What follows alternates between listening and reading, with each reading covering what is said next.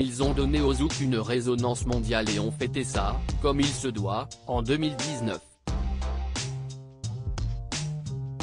Pour cause, cette année-là, le groupe Kassav célébrait son 40e anniversaire. Jocelyne Béroard, Georges Décimu, Jean-Philippe Martelly et Jean-Claude Nemero étaient donc montés sur scène, dans la commune de Bemao, sur l'île de Basse-Terre en Guadeloupe, pour mettre le feu avec leurs tubes les plus célèbres, Oulé ou encore Zouk la sel médicament Nouni.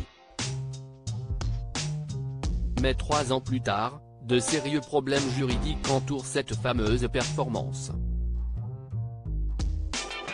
Coup dur pour les membres du groupe Cassav, qui a déjà pleuré la perte de Jacob Desvarieux, en 2021. Le concert de leurs 40 ans de carrière avait été subventionné en partie par l'instance régionale du tourisme de Guadeloupe. Deux hommes ont été mis en cause dans le cadre d'une enquête sur les conditions financières de l'organisation de cette prestation.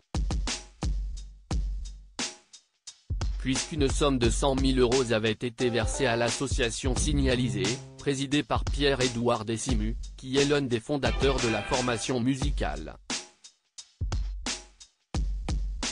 L'enquête avait débuté en octobre 2020 à la suite d'un signalement de la Chambre régionale des comptes de la Guadeloupe au parquet sur des irrégularités de gestion, notamment pour l'utilisation des fonds pour épurer certaines dettes personnelles du musicien. Deux coupables dans l'affaire Pierre-Édouard Décimu a finalement été condamné le mardi 15 novembre 2022, par le tribunal correctionnel de Pointe-à-Pitre, à 8 mois de prison avec sursis pour abus de confiance. Il va également devoir régler une amende de 15 000 euros. Le tribunal a suivi les réquisitions du parquet, a précisé le procureur de la République de Pointe-à-Pitre à la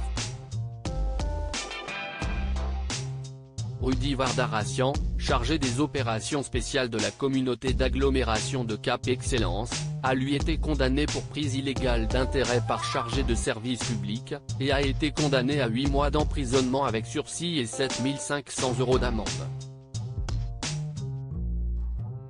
Des perquisitions avaient été effectuées en juin 2021 dans les locaux de l'association signalisée.